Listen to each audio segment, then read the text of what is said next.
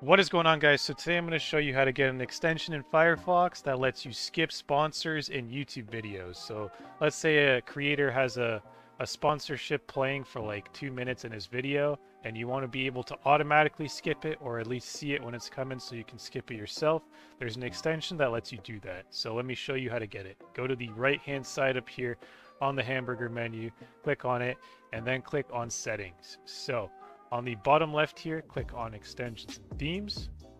And then um, in search addons.mozilla.org, click or just type in sponsor block, one word. Um, and this is the one right here.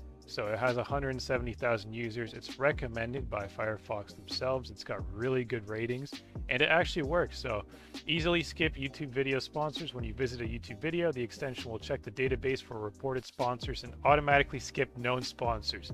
So basically users can report sponsorships when they see them in videos and then the app or the extension will know, it'll check the database for the video itself and then see if there's any sponsors in it and it'll let you know. That's how it works basically. So you can you can contribute by reporting your own uh, sponsorships when you see them in the video.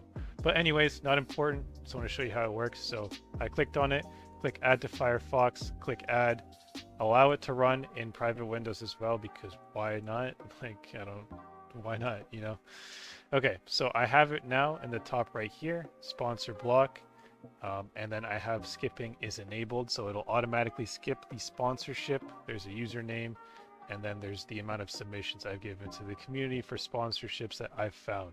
And then I've tested it a bit, so I've skipped two segments, and that's a total of 2.2 minutes. It's cool that it tracks that for you, so let me show you how it works. So here's the Act Man. I watched some of his videos. He's pretty funny, and I like his uh, reviews on stuff. So as you can see, it already knows there's a sponsorship here and it highlighted it in green for me. So now it knows that, or now I know that there's a sponsored section of the video here and I can just skip it myself or I can just let it skip it automatically for me since I have skipping is enabled, right? So gonna click right up to the sponsorship. Don't want to get copyright striked. Okay. All right lower the volume, and let's play this out. See what happens. Just watch the bar in the bottom left. Just watch it. Just watch it. Just watch it. And boom! Just like that, completely skipped, and we didn't see a single sponsorship. So we didn't see any of this part, and that's pretty cool. So that's how that works, guys. If you want this, um, that's how you get it. Hopefully you found this video helpful. If you did, please drop a like, and don't forget to subscribe. Thanks for watching.